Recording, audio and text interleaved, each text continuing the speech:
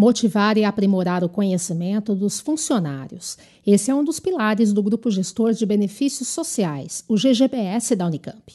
Dia 9 de março, o talk show com o tema Gestão em Tempos de Avanços Tecnológicos foi uma das iniciativas nessa direção. Quem conduziu o bate-papo foi o jornalista da CBN, Roberto Nonato, que discutiu a comunicação de massa e pessoal e comentou os impactos na sociedade. Os impactos são agilidade. Acho que hoje a gente tem muito mais agilidade de resposta e de interação com o público do que tínhamos há 30 anos, né? É, com os veículos de comunicação, acho que hoje eu tenho muito mais interação com o ouvinte, com o telespectador, enfim.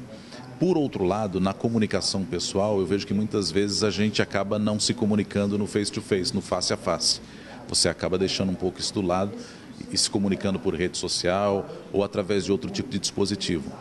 Então parece até um paradoxo. Ao mesmo tempo em que você tem mais interação com o teu ouvinte, no dia a dia você acaba perdendo um pouco essa interação no cara a cara. Hoje em dia você já não faz uma ligação, você manda um WhatsApp. Hoje em dia você já não marca um encontro para conversar, você manda uma resposta pelo Facebook ou pelo Twitter. Então é esse tipo de relação que eu pretendo mostrar um pouco. Né? Então os impactos foram esses. Eu tenho muito mais agilidade hoje com o meu ouvinte, mas na comunicação pessoal nem sempre essa aproximação ocorre. Com um clima bem descontraído, Carlos Alberto Júlio falou sobre gestão descomplicada. Destacou a invasão da tecnologia no mundo dos negócios e a importância da troca de conhecimento entre as gerações. Não perca o seu poder ou a sua capacidade de se admirar com o novo. Talvez a característica mais importante do empreendedorismo, do trabalho humano, é a curiosidade.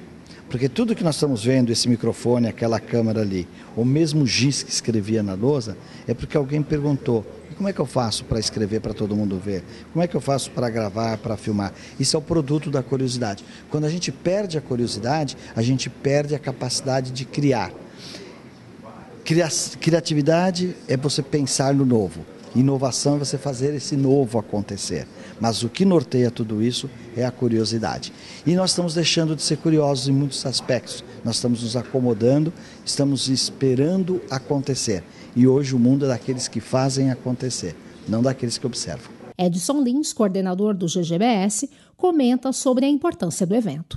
E há algumas situações que até são mais animadoras, que as pessoas repensam a sua trajetória, até mesmo na perspectiva de fora da Unicamp, olhando para fora, olhando para dentro, e elas repensam um pouco a sua trajetória profissional.